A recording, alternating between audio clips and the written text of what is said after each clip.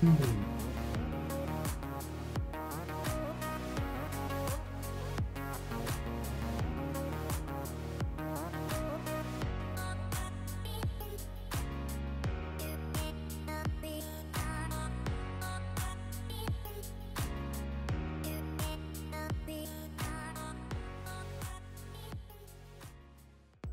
Hello, welcome to the channel. I'm Machine Daena. In this video, I'm going to be discussing stream titles, how to get the most of them. So I did some time. Uh, I make it sound like I was went to jail. I didn't go to jail. I, have not done time in jail. I, I, can I can promise you that yet. I mean, I've not done time in jail yet. But I, did some time as a marketing manager, uh, around about two years as a marketing manager in my sort of pre-content life. Also, I did around about 10 years of sales and commercial management stuff as well. So I'm not like a total super expert pro, but I also know quite a fair amount about how to hook people in how to sell, uh, how to sell yourself, and of course, how to get the most from the opportunities of impressions that you'll get when maybe someone might only see a split second. So this concept is called, obviously it's called first impressions, and they estimate that you've got something like 3.5 seconds of time to make a good first impression. I think it's even less when you're talking about titles and text. There's probably some research out here about this, but I would not be surprised if it's more like half a second or a second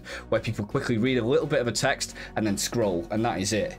And there's a lot of like email opening, email titles uh, analysis that's been done for this as well. And they estimate that for emails, anything from 2 to 5% open rate is actually quite a good open rate, which means that of the text that you're putting in an email, and I know this isn't quite the same, but the text that you're putting in an email as the title, something like only 2 in 50 or like 5 in 100 people will actually open that. And what that means is the impressions that you get whilst you're in a game category or something like that is likely to be something similar. Maybe it's as high as like 10% or something, but there's a pretty high chance it's not higher than 10%. But the difference between getting like 2% impression click-through ratio or a 10% impression click-through ratio is how attractive the title is and a number of fundamental things that you can do in that title to make it clickable. In this video, I'm going to talk about questions. I'm going to talk about hooks. I'm going to talk about caps locks versus not. I'm going to talk about emojis. I'm going to talk about repetitive titles, and I'm going to talk about a lot of relevancy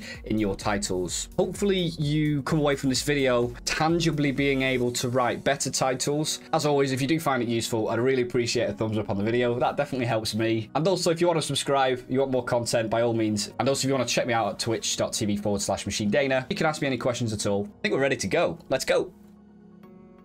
Okay, so first things first, you need to make sure that you are actually editing your titles every single stream. That may sound obvious, but make sure you do edit your title.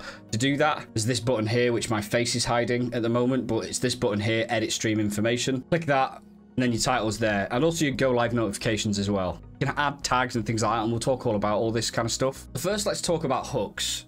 Hooks are a pretty common theme in content. It's that very early stage where you're making your first impression. A hook is something that's going to drag someone in and actually get their attention and bring them almost like to the front door to make them curious enough to click in, okay? A hook can be any kind of challenge that you want to set. A hook can be like something emotive that you want to say, something that invokes like a human response in the person that's viewing the title. It could be something like key stream information. For example, this is a 24 hour stream or it's a charity stream or it's a challenge stream or something like that. But also hooks can be something a lot more subtle. It can be key functional information about the stream. For example, that it's a UK stream, that it's an English speaking stream or a Spanish speaking stream, or it could be that it's a PC stream or a console or something like that. So they're also options that you've got if you've got enough space. And of course, you've only got a limited amount of space. There's 140 characters that you can use. But actually, if we just copy and paste the title here, title ended at that point here for this particular person it looks like you've got something like 41 characters that actually get shown on the main browsing screen. Now, different screens and different recommended might show a different amount of characters, but the reality is here, you haven't got 140 characters to work with. You've actually probably got more like 41 characters to work with. So those first five or six words that you write are so crucial in how successful the title is going to be at converting an impression to a click-through. I just want to talk briefly about Loserfruit's title here. Uh, we're on the Fortnite category. she's written I'm injured with a sad face. So she's put an emoji in there. That's obviously quite useful. It can create a form of response. Zoomers are going to absolutely eat that up. But it's a really interesting title that she's put because she's written I'm injured. And that anyone that's watching this might actually sympathize with the fact that she's injured here and might want to click in and almost just be curious about why she's injured. Why is she injured? What's happened? Is it an accident? Um, or something like that. It's a little bit clickbaity, but to be honest, when you're in a stream, as long as you're not outright lying, and I don't think she's lying there, she probably is genuinely injured for something, then you're not going to turn viewers off. So the content needs to at least remotely reflect what you are doing, but I think a level of clickbait is acceptable. Some other things we're going to just quickly note here just by browsing through. Not very many people using emojis, and we will talk about emojis in a second, but we can see very few people using emojis at all. Got one here,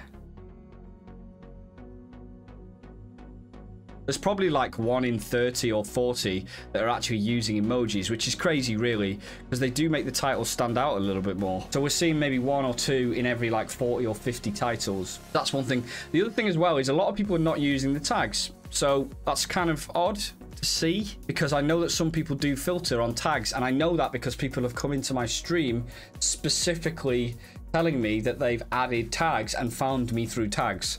The tags don't work as well as they should do on Twitch. That's a pretty known fact, but they do work to an extent. And when it's when we're talking about something that takes a matter of five or 10 seconds to add tags, then you should do it. There's no reason not to do it. A really popular one is the playing with viewers.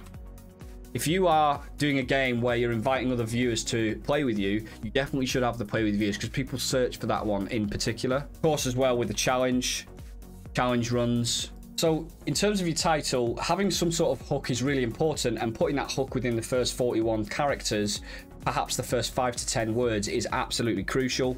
Putting emojis in there probably will make the title stand out a little bit more.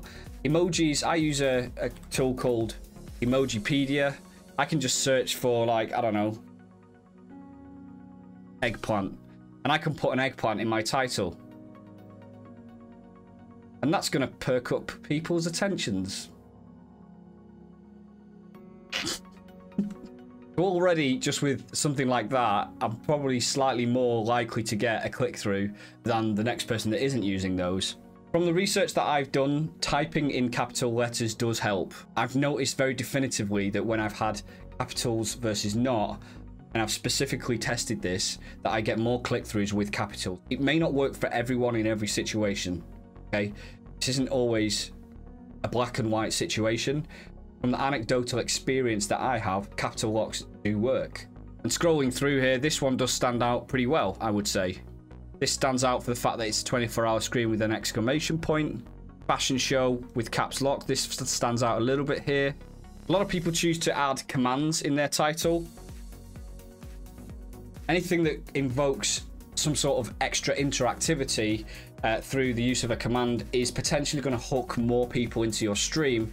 But of course, it relies on that command actually being set up and that command being useful. If it's a completely stupid, um, like like non-useful, boring command, then there's no point putting it in your title.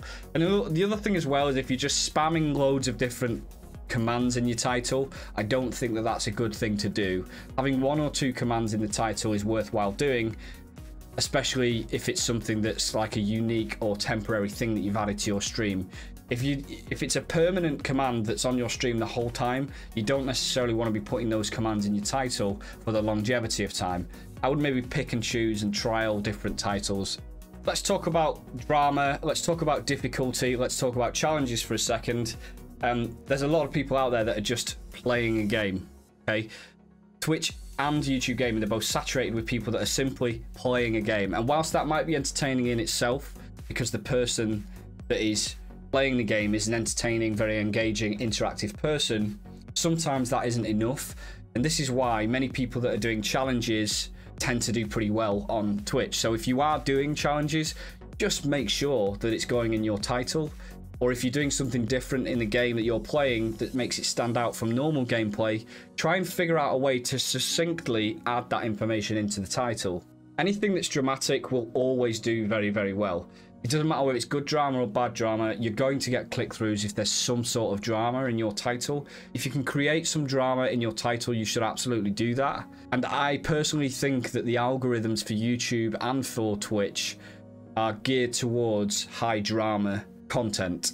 You may want to consider putting things like um, things like UK, PC, or like EN in the title, those types of things. They are useful to do, but I wouldn't waste too much of your space. Here we've used probably 15 characters, 10, 15 characters. That's a lot of space to use for that first 41 characters. I'm going to talk a little bit about repetitive titles. If you're a streamer that's really consistent and you're streaming, let's say, three to five or six days a week, if you're repetitively adding the same title, I don't think that's going to help you because people will potentially see your stream more frequently and, and, be less inclined to click on it. Even if these are people that are your regular viewers, they may be less inclined to click on it if it's the regular titles. And sometimes when they click into your stream, let's say for example, we click into a stream here, you then get to see the full title in play if people are seeing the same content there every single time, without doubt, people are going to start to get bored with that. So do try and vary up your titles. It makes a big difference if you're really making the effort with your titles and people see that. It's really important that you don't forget to change the title when you change games because like there's no point in you having a title about Fortnite when you're playing like Minecraft. Nobody wants to see like your skins, right? If you're playing Mine wait, Minecraft have skins? Don't know. I've never played Minecraft. Does Minecraft have skins? Maybe that's a bad example. There's no point in having a title that talks about cranking build 90s uh, on Fortnite if, if actually you're playing Mine. Wait, building Minecraft as well, don't you? That's another really, really bad example. Forget the bad examples, just make sure that you make the titles relevant. You can also get your mods to do this as well. You can literally get your mods to do the title for you. So you literally don't even need to necessarily even do it yourself. You just need to uh, make your mods aware that they're allowed to do it. Yeah, so if you go into the default tab here and do a search for title within CloudBot commands, you've got set title. You can edit this can also choose whether you want the permission to be used by moderators or not. So if you don't want your moderators to be able to change the title, you can simply turn that on and off. I finally just want to talk about sort of gaming titles versus non-gaming titles, okay? Clearly, if you're gaming versus not gaming, the title matters if you're gaming, you want the title to be relevant to the game. But the thing is, often the title not being relevant to the game can make a big difference because it might then relate to something that you are doing on your stream. It makes you the focal point rather than the game the focal point. And especially in saturated games where there's a high volume of players, you or the content that you're generating becoming the focal point rather than the game becoming the focal point might become really, really entertaining. That might be the thing that makes somebody click into your stream and hang out, follow, maybe even subscribe and give bits and all that good stuff, okay? If you're changing games, make sure that you change the category as well. Again, your mods can do this. It's technically against Twitch terms and service to not change your game category on purpose. There you have it. Hopefully I've given you some ideas about different things that you can do with your titles it really, really matters. This really, really matters. This can actually be the thing that, especially in the early days, can make or break the amount of exposure you get and therefore how quickly you as a streamer grow. If you're being impressioned and clicked through by more people, you will grow faster. It's as simple as that. Once again, if you found it useful, feel free to thumbs up, feel free to subscribe, and have a great, great, great, great, great, great day.